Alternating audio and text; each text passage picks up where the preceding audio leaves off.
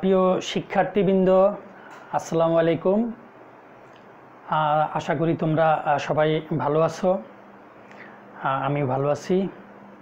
আজকের এই অনলাইন ক্লাসে তোমাদের আমি স্বাগত জানাচ্ছি। আমি মোহাম্মদ আবদুল্লাল মামুন, সহকারী অধ্যাপক, দর্শন বিভাগ, ঢাকা কলেজ, ঢাকা। তো তোমরা, আমরা গত ক্লাসে তোমাদের সাথে যুক্তিবিদ্যা দ্বিতীয় পত্রের যৌক্তিক সংজ্ঞা, যেটাকে আমরা বলি লজিক্যাল ডেফিনেশন এই বিষয়টা নিয়ে আমরা আলোচনা করেছি। এবং সেখানে তোমরাদেরকে আমি দেখিয়েছিলাম যে যুক্তিক সংজ্ঞাটা কি? যুক্তিক সংজ্ঞার প্রকৃতি, যুক্তিক সংজ্ঞার প্রাসঙ্গিকতা, তারপরও আমরা যুক্তিক সংজ্ঞা এবং বর্ণনা, এই দুটি বিষয়ের মধ্যে পার্থক্য, এই বিষয়গুলো আমরা আলোচনা করেছি। আজকে আমরা ওই যৌক্তিক সংজ্ঞার আরও গুরুত্বপূর্ণ বিষয়। একটা হলো সংজ্ঞার নিয়ম এবং সংজ্ঞার নিয়ম লঙ্ঘনজনিত অনুপপত্তি। এই দুটি বিষয় নিয়ে আমরা আজকে আলোচনা করব। প্রথমত হলো যৌক্তিক সংজ্ঞার নিয়ম।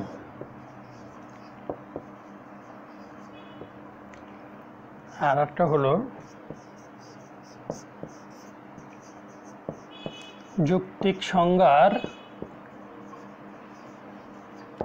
নিয়ম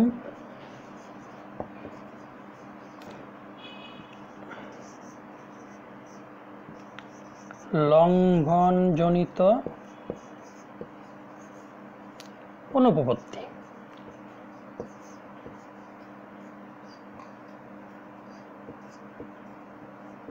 তো আমরা আজকে তোমাদের যুক্তিক সংজ্ঞার নিয়ম। তো এই যৌক্তিক সংজ্ঞার নিয়মটা আলোচনা করার পূর্বে আমরা গত ক্লাসে তোমাদেরকে দেখিয়েছিলাম যে, এই সংজ্ঞাটা কি? সেখানে কিন্তু আমি বলেছিলাম যে, কোনো পদের যথার্থের যে সুস্পষ্ট যে বিবৃতি, তাকেই আমরা বলি হলো সংজ্ঞা। এখন সংজ্ঞার ক্ষেত্রে কি কয়? সংজ্ঞার ক্ষেত্রে, যুক্তিবিদ্যার সংজ্ঞা ব্যবহার করা হয় পদকে স্পষ্ট করতে এবং এ সম্পর্কে সম্মুখ একটা ধারণা পেতে। পদের মধ্যে অনেক সময় অনেক দুর্বোধ্য শব্দ চলে আসে, যেগুলো পদকে যথার্থভাবে আমাদের সামনে তুলে ধরে না। তখনই আমরা কি করি? যুক্তিক সংজ্ঞাটা সেখানে কাজে লাগাই। তো যুক্তিক সংজ্ঞার সংজ্ঞাদানের ক্ষেত্রে আমাদেরকে একটা সহজ পদ্ধতি আমি তোমাদেরকে দেখিয়েছিলাম। সেখানে আমরা আলোচনা করেছিলাম যে যৌক্তিক সংজ্ঞা দেওয়ার সময় আমাদেরকে খেয়াল রাখতে হবে যে এর আসন্নতম জাতি এবং লক্ষণ, যেটাকে আমরা বলি বিভেদক লক্ষণ, এই দুটি বিষয় উল্লেখ আছে কিনা। যদি এই দুটি বিষয় উল্লেখ থাকে, তাহলে আমরা, তখন আমরা বলব যে এটা একটা যথার্থ যুক্তি সংজ্ঞা যেমন, তোমরা একটু আমার এই বোর্ডের দিকে খেয়াল করো।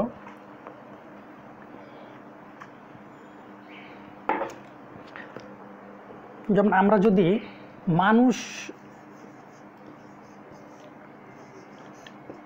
এই মানুষ যে পদটা, এই এখানে আমরা এই মানুষ পদের যদি আমরা যদি বিশ্লেষণ করি, তাহলে আমরা দেখি, যদি বলি যে যে মানুষ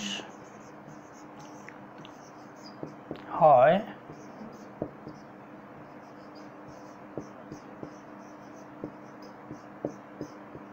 বুদ্ধিবৃত্তি সম্পন্ন জীব। তাহলে এই আমরা এই মানুষ এখানে এই যে বুদ্ধিবৃত্তি সম্পন্ন জীব, এই জীবের ভিতরে আমরা পাই হলো মানুষ পদের আসন্নতম জাতি। আর বুদ্ধিবৃত্তি এই যে যেটাকে আমরা এখানে উঠলাম এটা হলো কি? এটা হলো আসন্নতম আসন্নতম জাতি এটাকে আমরা বলি। আর এই যে বুদ্ধিবৃত্তি যেটাকে আমরা যেটাকে আমরা বলছি, এটাই হলো তোমার হলো লক্ষণ। যেটাকে বলি বিভেদক লক্ষণ। তাহলে এই দুটি বিষয় যখন আমার স্পষ্টভাবে উল্লেখ থাকবে, তখনই সেটাকে আমরা বলব যে এটা একটা যথার্থ সংজ্ঞা হয়েছে। অনেক সময় আমরা এই মানুষের পরিবর্তে আমরা যদি ত্রিভুজ ত্রিভুজ পথটাকেও আমরা বিশ্লেষণ করতে পারি। যে ত্রিভুজ পথটির আসন্নতম জাতি হচ্ছে কি? সমতল ক্ষেত্র। এবং এর লক্ষণ হচ্ছে তিন বাহু দ্বারা বেষ্টিত হওয়া। সুতরাং আমরা ত্রিভুজের আমরা সংজ্ঞা লিখতে পারি, ত্রিভুজ হচ্ছে তিন বাহু দ্বারা বেষ্টিত সমতল ক্ষেত্র। সমতল ক্ষেত্র। তাহলে এটা হলো কি ত্রিভুজ পদ, পদের আমাদের একটা উদাহরণ। সুতরাং ত্রিভুজের সংজ্ঞা হচ্ছে, ত্রিভুজ হচ্ছে তিন বাহু দ্বারা বেষ্টিত একটি সমতল ক্ষেত্র। সুতরাং আধুনিক, এখন আমরা যখন আধুনিক যুক্তিবিদ্যায় এই সংজ্ঞা দিতে যাই, তখন দেখি যে আমাদের সংজ্ঞার ক্ষেত্রে কিছু নিয়ম আমাদেরকে অনুসরণ করতে হয়। এবং এই নিয়মগুলো যদি আমরা যথাযথভাবে অনুসরণ করি, তাহলে সেই সংজ্ঞাটা কি হবে? যথার্থ সংজ্ঞা হবে। আর যদি সেই নিয়মগুলো যদি আমরা যথাযথভাবে অনুসরণ না করি, তাহলে সংজ্ঞা নানা রকমের অনুভূতি সৃষ্টি হবে। তাহলে সংজ্ঞায় কি আছে? সংজ্ঞায় আমাদের কিছু নিয়ম আছে। আমরা এই নিয়মগুলো আমরা তোমাদেরকে এখন আমি আলোচনা করব। তোমরা একটু আমার স্ক্রিনের দিকে একটু আসো। যেমন যৌক্তিক সংজ্ঞার দেখো, প্রথম নিয়মে কি বলা হয়েছে? বলা হয়েছে যে যে পদের সংজ্ঞা দিতে হবে, সে পদের সম্পূর্ণ যথার্থকে সুস্পষ্টভাবে উল্লেখ করতে হবে। তার চেয়ে বেশিও নয়, কমও নয়। তা আমরা এখানে একটি পদের যথার্থ তার সাধারণ এবং আবশ্যকীয় গুণ দ্বারা গঠিত। তাই কোনো পদের সংজ্ঞা নির্ণয় করতে হলে কী করতে হবে? অনাবশ্যক গুণগুলোকে বাদ দিতে হবে। আর যেটা আবশ্যিক গুণ, সেই গুণটাকে এখানে উল্লেখ করতে হবে। সেই আমি তোমাদেরকে যে উদাহরণটা আমরা দিয়েছিলাম, যেমন আমরা এখানে আমরা মানুষ একটা, এই একটা পদ, এখন এই মানুষ পদের আমি যদি বলি যে মানুষ হয় বুদ্ধিবৃত্তি সম্পন্ন জীব, তাহলে এখানে মানুষ পদের যথার্থ যে দুটি গুণ অন্তর্ভুক্ত আছে, জীববৃত্তি আর বুদ্ধিবৃত্তি, দুটো বিষয় কি হয় এখানে উল্লেখ করা হয়েছে। আর অনাবশ্যক গুণগুলোকে বাদ দেওয়া হয়েছে। দেখো আমি আমি এখানে এটার পরিবর্তে লিখতে পারি যে মানুষ হয়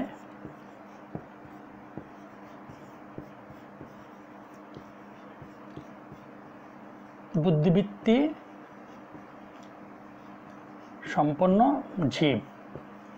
তাহলে এখানে কি হলো? যে এখানে পদের সম্পূর্ণ যথার্থ এখানে সুস্পষ্টভাবে এখানে উল্লেখ করা হয়েছে। তাহলে আমাদের প্রথম নিয়মটা কি? যে পদের সংজ্ঞা দিতে হবে, সে পদের সম্পূর্ণ যথার্থকে সুস্পষ্টভাবে উল্লেখ করতে হবে। যথার্থের চেয়ে কম বা বেশি উল্লেখ করা যাবে না। তাহলে আমরা এটাকে আমরা একটা যথার্থ উদাহরণ হিসাবে নিতে পারি। তারপরে আমাদের দ্বিতীয় যে নিয়ম, সেই নিয়মে বলা হয়েছে, যে পদের সংজ্ঞা দিতে হবে, সেই পদটি থেকে সংজ্ঞাটি স্পষ্টতর হতে হবে। এবং সংজ্ঞায় কোনো রূপক বা দুর্বোধ্য ভাষা ব্যবহার করা যাবে না। যদি এই যদি এই নিয়ম, আমরা এই নিয়মটা অনুসরণ করি, তাহলে আমাদেরকে বলতে হবে, যেমন আমরা যদি চতুর্ভুজ একটা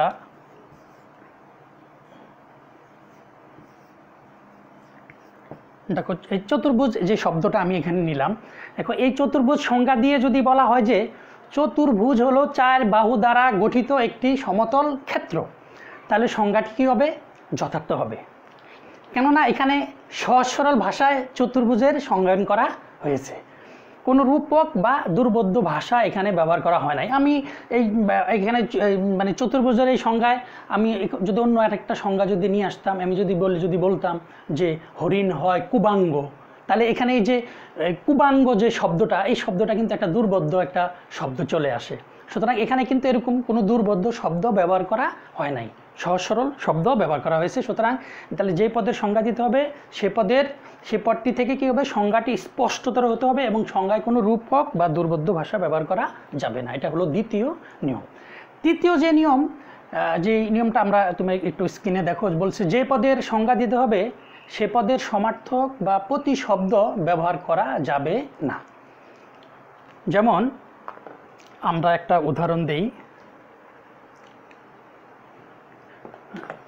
যেমন আমরা যদি বলি মানুষ হয়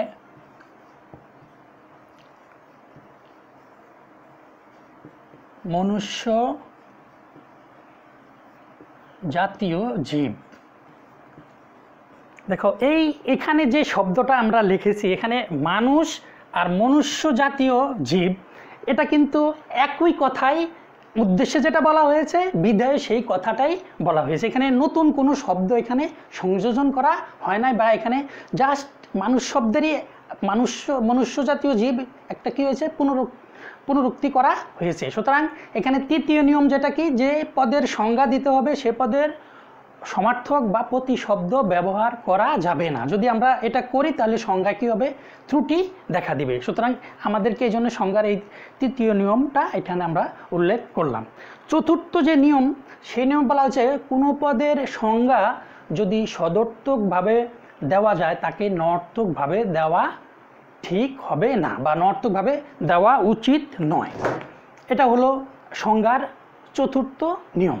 যেমন আমরা এই চতুর্থ নিয়মের বিষয়টা আবার বলি, যে যদি সংজ্ঞা, যদি আমরা যদি সংজ্ঞা কোনো পদের সংজ্ঞা যদি সদর্থকভাবে উল্লেখ দেওয়া গেলে তাকে নর্থকভাবে দেওয়া উচিত নয়। যেমন আমি যদি বলি, মানুষ হয়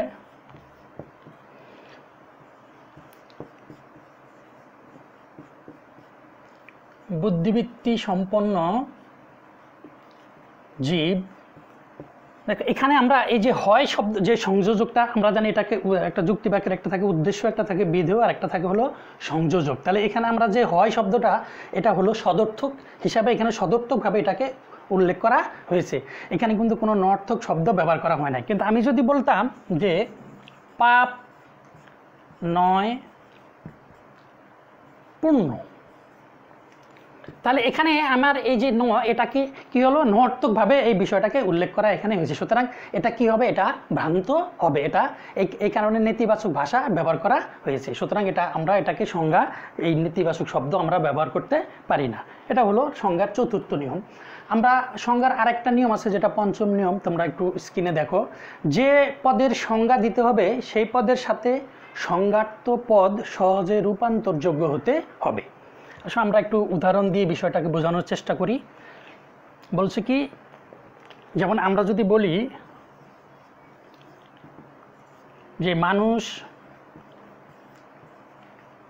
হয়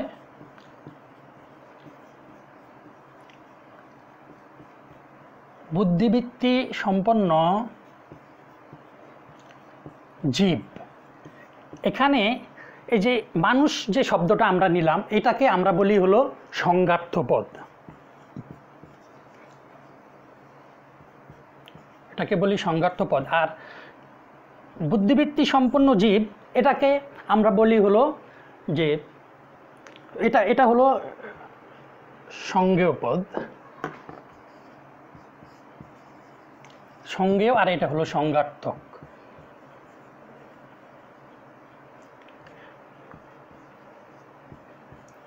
এখন আমরা যদি এই মানুষকে যদি আমরা এটাকে যদি আমরা এখানে নিয়ে আসি, আর এটাকে যদি আমরা স্থানান্তর, যেটাকে প্রথম নিয়ম পঞ্চম নিয়ম বলছে, যে পদের সংজ্ঞা দিতে হবে, সে পদের সাথে সংজ্ঞার্থ পদ সহজে রূপান্তরযোগ্য হতে হবে। তাহলে রূপান্তর যদি আমরা করি, তাহলে আমাদের কি হবে? আমরা বুদ্ধিবৃত্তি আগে লিখি বুদ্ধিবৃত্তি বুদ্ধিবৃত্তি সম্পন্ন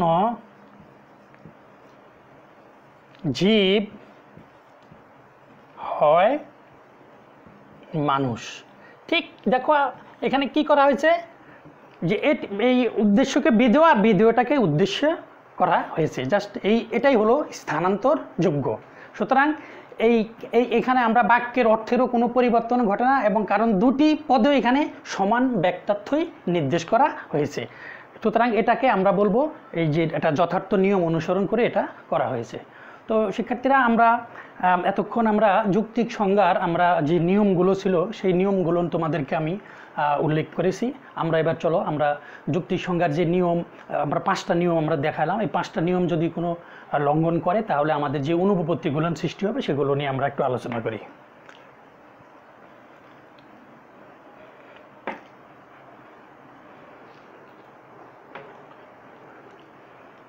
তাহলে যুক্তিক সংজ্ঞার নিয়ম লঙ্ঘনজনিত অনুপপত্তি। আমরা জানি যে আমাদের যে যুক্তিক সংজ্ঞার যে প্রথম নিয়মের কথা আমরা বলেছিলাম যে যে পদের সংজ্ঞা দিতে হবে, সে পদের সম্পূর্ণ যথার্থকে সুস্পষ্টভাবে উল্লেখ করতে হবে, যথার্থের কম বা বেশি উল্লেখ করা যাবে না। যদি সংজ্ঞার এই নিয়মটা যদি অনুসরণ করা না হয়, তাহলে কি হবে?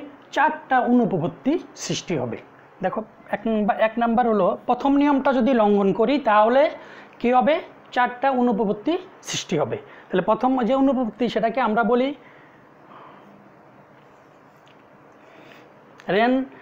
redundant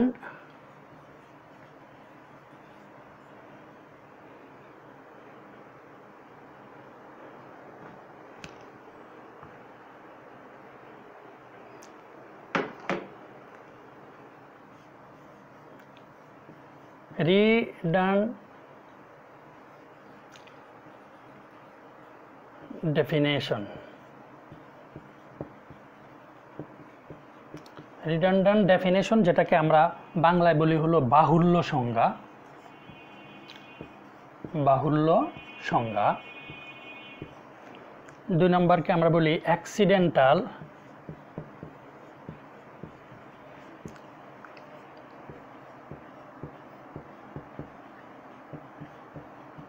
অ্যাক্সিডেন্টাল এটাকে আমরা বলি হলো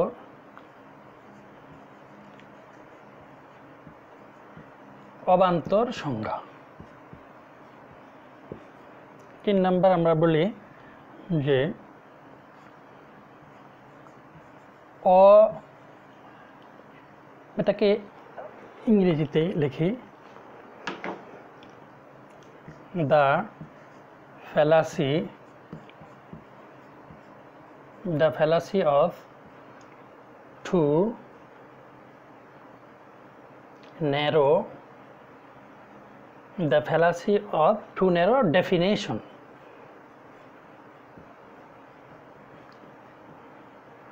আর চার নাম্বার এটা যেটা এটার হলো এটাকে আমরা বলি হলো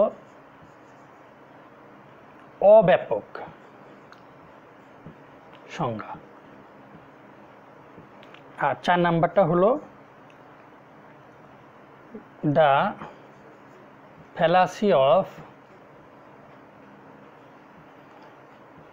too wide w i d e too wide definition, এটা একটু বুঝে নাও। ডেফিনেশন যেটাকে আমরা বলি অতি ব্যাপক সংজ্ঞা। সরেও অতি ব্যাপক। তো আমরা প্রথমে বলছি কি রিডান্ডান্ট ডেফিনেশন মানে বাহুল্য সংজ্ঞা, দুই নম্বরে বলছি অ্যাক্সিডেন্টাল ডেফিনেশন বা অবান্তর সংজ্ঞা, তিন নম্বর আমরা বলছি the fallacy of too narrow definition আরেকটা বলছি বা অব্যাপক সংজ্ঞা, আরেকটা বলছি the fallacy of too wide definition বা অতি ব্যাপক সংজ্ঞা। তা আমরা এই এই সংজ্ঞাগুলো নিয়ে এখন আমরা একটু তোমাদেরকে বিস্তারিত আলোচনা করি। আসো।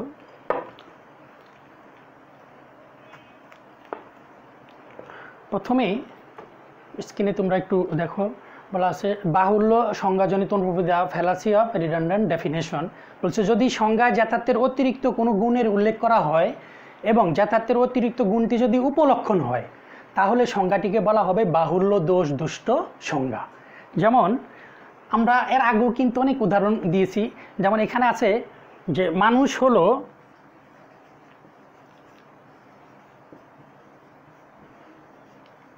আমরা উদাহরণ দিয়ে বোঝাচ্ছি বাহুল্য সংজ্ঞাটা যে যদি আমরা যদি বলি যে কি? যে মানুষ হলো বুদ্ধিবৃত্তি, মানুষ হলো বুদ্ধিবৃত্তি সম্পন্ন জীব। এখন এখানে বুদ্ধিবৃত্তি সম্পন্ন জীব যার বিচার করার ক্ষমতা আছে।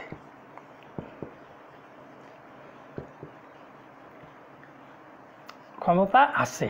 এই যে এই বাক্য এটা কিন্তু একটা যুক্তি বাক্য যে মানুষ হলো বুদ্ধিবৃত্তি সম্পন্ন জীব যার বিচার করার ক্ষমতা আছে।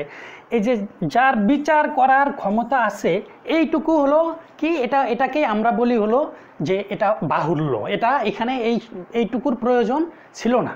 কিন্তু এখানে কি করছে? এই এটাকে, এখানে এই, এটা একটা হলো, একটা ইয়ার হলো উপলক্ষণ। সুতরাং এটাকে এখানে কি করছে? অন্তর্ভুক্ত করাতে কি হয়ে গেল? এটা মানুষের যথার্থ থেকে এটা আসছে, অনুসৃত হয়েছে যথার্থের একটা কারণ যার বুদ্ধি আছে তারই শুধু বিচার করার ক্ষমতা রাখে। সুতরাং সেই হিসাবে এটা যথার্থ থেকে আসছে। যথার্থ থেকে আসলেও এটা কি হয়? এটাকে আমরা কি বলি? যে এটাকে আমরা যথার্থভাবে আমরা এটাকে মেনে নিতে পারি না। এই আমরা এটাকে বলি এটা একটা বাহুল্য সংজ্ঞাজনিত অনুপপত্তি এখানে ঘটেছে।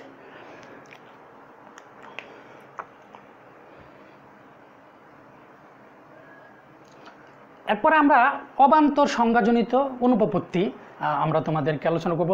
সংজ্ঞা যদি যথার্থের অতিরিক্ত কোনো গুণের উল্লেখ করা হয় এবং সে অতিরিক্ত গুণটা যদি অবান্তর লক্ষণ হয়, তাহলে সেক্ষেত্রে অবান্তর লক্ষণজনিত অনুপপত্তি ঘটে। যেমন আমরা একটা উদাহরণ দিয়ে এটাকে বলতে পারি, যেমন মাছ হয় পানিতে বাস করা প্রাণী। দেখো, এখানে মাছ হয় পানিতে, বাস করা প্রাণী। এই বাক্যে যে আমরা এখানে ব্যবহার করছি, এখানে পানিতে বাস করা কথাটি কি হয়েছে? এখানে অতিরিক্ত হিসাবে ব্যবহার করা হয়েছে যা সংজ্ঞার এটা একটা ত্রুটিপূর্ণ হিসাবে দেখা দিছে এক্ষেত্রে অবান্তর সংজ্ঞাজনিত অনুপপত্তি সংগঠিত হয়েছে। তারপরে আমরা আসি অব্যাপক সংজ্ঞাজনিত অনুপপত্তি। যে কোনো পদের সংজ্ঞা দিতে গিয়ে আমরা একটু স্ক্রিনে দেখি, অব্যাপক সংজ্ঞাজনিত অনুপপত্তি, কোনো পদের সংজ্ঞা দিতে গিয়ে উক্ত পদের আসন্নতম জাতি ও বিভেদক লক্ষণ ছাড়াও অতিরিক্ত গুণ হিসেবে যদি কোনো বিচ্ছেদ্য অবান্তর লক্ষণ গুণের উল্লেখ থাকে, তাহলে অব্যাপক সংজ্ঞাজনিত অনুপপত্তি ঘটে। যেমন আমরা যদি বলি যে যে অব্যাপক সংজ্ঞাজনিত অনুপপত্তির আমরা যেটা বলি যদি সকল মানুষ সকল মানুষ হয় বুদ্ধিবৃত্তি বুদ্ধিবৃত্তি সম্পন্ন, সভ্য সরি সম্পন্ন, সভ্য প্রাণী বা জীব। বুদ্ধিবৃত্তি সম্পন্ন প্রাণী। এখন এখানে দেখো যে আমরা এখানে মানুষের ক্ষেত্রে যখন আমরা সভ্য শব্দটা ব্যবহার করি, তখন মানুষ পদের আমরা জানি যে মানুষ পদের তখন মানুষের মধ্যে দুইটা বিষয় আছে।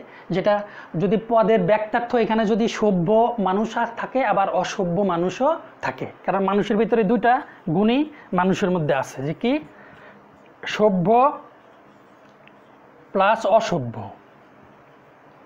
অসভ্য। তো এখানে কি হয়েছে? এখানে এই অসভ্যটাকে বাদ দেওয়া হয়েছে। শুধু রাখছে কোনটা? সভ্য। সুতরাং অর্থাৎ এখানে কি ঘটলো? যে এখানে এই অসভ্যতা গুণটি বাদ দিলে মানুষ পদের ব্যক্তার্থ কি হলো? কমে গেল। সুতরাং ব্যক্তার্থ কমে যাওয়ায় আমরা এখানে অব্যাপক সংজ্ঞাজনিত অনুপপত্তি সংগঠিত হয়ে গেল। সুতরাং এটা একটা ত্রুটিপূর্ণ সংজ্ঞা। এরপরে আমরা তোমাদের অতি ব্যাপক সংজ্ঞা, যেটাকে আমরা আমরা বলছি স্ক্রিনে একটু দেখো অতি ব্যাপক সংজ্ঞাজনিত অনুপপত্তি বলছি, কোনো পদের সংজ্ঞা দেওয়ার অর্থই হলো উক্ত পদের আসন্নতম জাতি ও বিভেদক লক্ষণ উল্লেখ করা।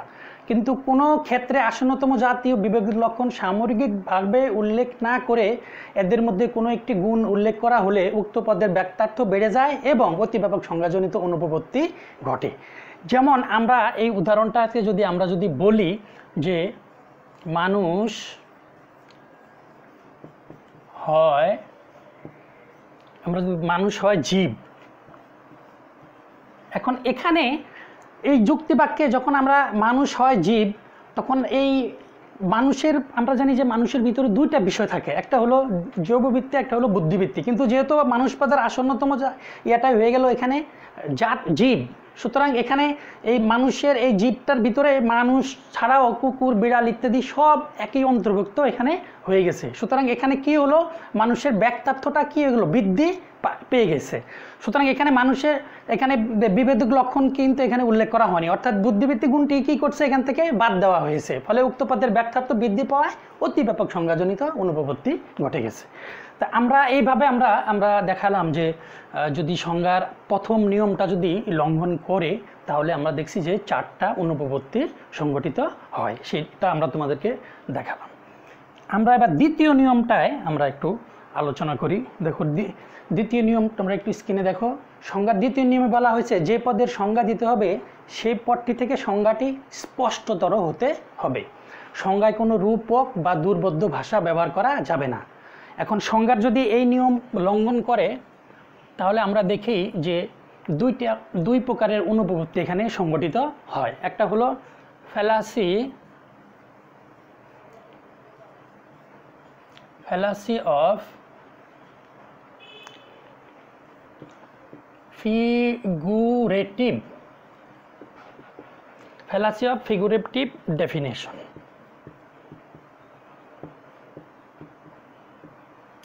যেটাকে আমরা বলি রূপক সংজ্ঞা। রূপক সংজ্ঞাজনিত অনুপপত্তি। আর আরেকটা হলো তোমার ফ্যালাসি অফ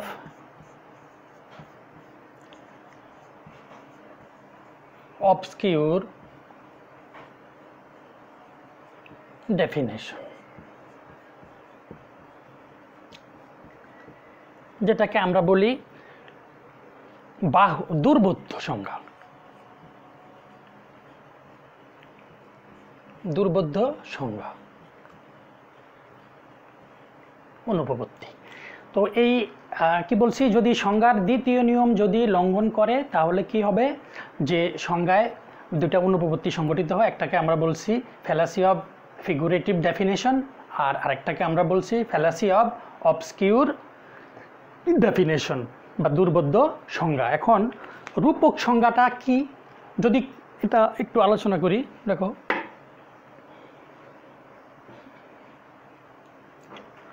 রূপক সংজ্ঞা তোমরা একটু স্ক্রিনে দেখো। যদি কোনো পদের সংজ্ঞায় রূপক ভাষা ব্যবহার করা হয়, তাহলে রূপক সংজ্ঞাজনিত অনুপপত্তি ঘটে। দেখো, এখানে একটা আছে যে সিংহ হচ্ছে সিংহ হচ্ছে পশুর রাজা। সিংহ হচ্ছে পশুর রাজা।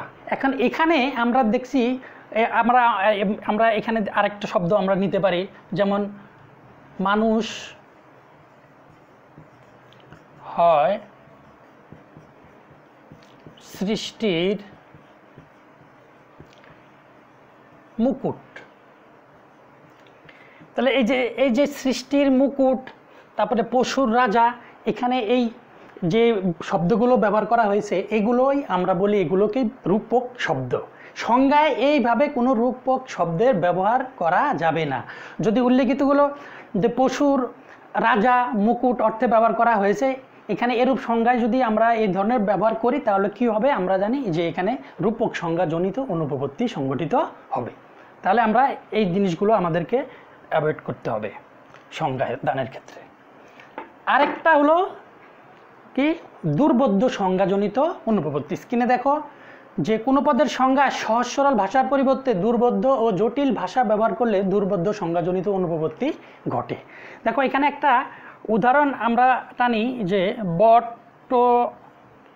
বৃক্ষ হচ্ছে জটা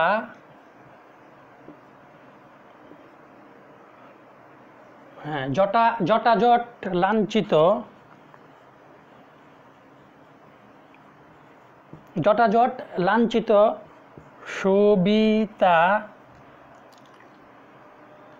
তপ সবিতা তপ নিরোধক সবিতা তপ নিরোধক মহা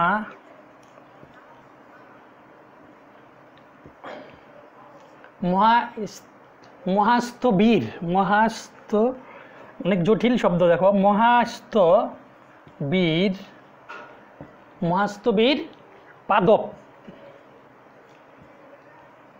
পাদপ। এই এখানে আবার বলি, বট বৃক্ষ সম্পর্কে বলা হচ্ছে। বট বৃক্ষ হচ্ছে জটাজট, লাঞ্ছিত, সবিতা, তপ, নিরোধক মহাস্ত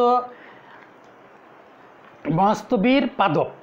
এই যে, এখানে যে আমরা যে শব্দটা ব্যবহার করলাম এটা, আমরা শিক্ষিত মানুষও আমাদেরকেই এটা বোঝা আমাদের জন্য অনেক দুর্বোধ্য হয়ে যায়। আর অন্যান্য মানুষের ক্ষেত্রে বা অন্যদের ক্ষেত্রে এটা বোঝা আরও কষ্টদায়ক হবে। সুতরাং সংজ্ঞায় আমরা যখন দিব তখন এই ধরনের যদি শব্দ ব্যবহার করা হয় সেটাকে আমরা তখন যে অনুপপত্তির সৃষ্টি হয় সেটাকে আমরা বলি দুর্বোধ্য সংজ্ঞাজনিত অনুপপত্তি। তো আমরা আজকে তোমাদের আমরা এই পর্যন্ত আজকে ক্লাসটা রাখতে চাচ্ছি আগামী ক্লাসে আমি বাকি যে আহ, নিয়মগুলো আছে সেই নিয়মগুলো এবং নিয়মগুলো ছাড়াও সংজ্ঞার কিছু সীমাবদ্ধতা আছে সেই সীমাবদ্ধতাগুলো নিয়ে আলোচনা করব। তো এই তোমাদের আজকের এই ক্লাসে এতক্ষণ মনোযোগ দিয়ে আমার এই ক্লাস শোনার জন্য তোমাদের সবাইকে আমি অসংখ্য ধন্যবাদ জানাচ্ছি। তোমরা সবাই ভালো থাকবে, সুস্থ থাকবে এই আশাবাদ ব্যক্ত করে আজকে এই ক্লাস শেষ করছি। সবাইকে আমি আবারও শুভেচ্ছা।